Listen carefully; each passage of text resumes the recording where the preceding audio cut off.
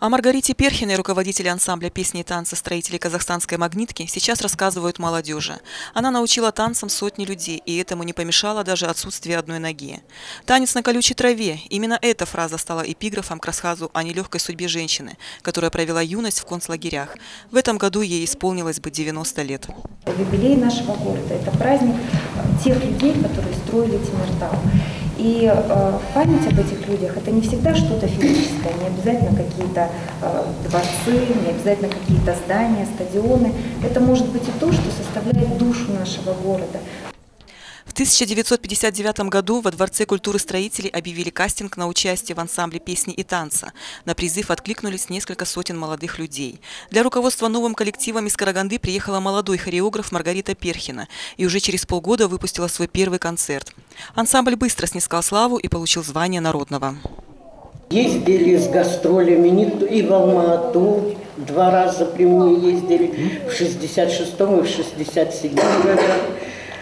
Ездили в Петропавловск, ездили в Москву. Вот каждый из участников из наших, да, может сказать такую фразу, что я счастлив, что в моей жизни встретился такой человек, как Маргарита Александровна Перхина.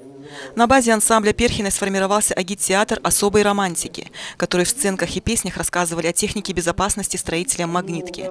Отсутствие возможности показать задуманный танец она компенсировала умением объяснить его в теории.